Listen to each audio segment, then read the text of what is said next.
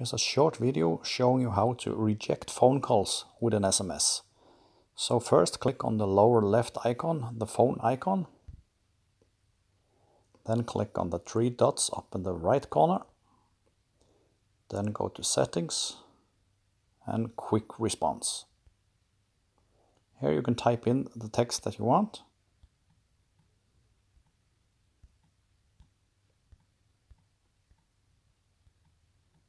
Just a symbol on the end, something like this.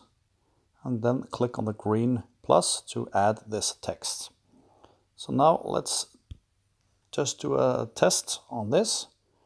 So there will appear a function down the lower end of the screen. So let's try that out. So here when you get a call, you can drag up this uh, function down below of this screen. And here you can reject the phone call with an SMS. So that is all there is to, to it.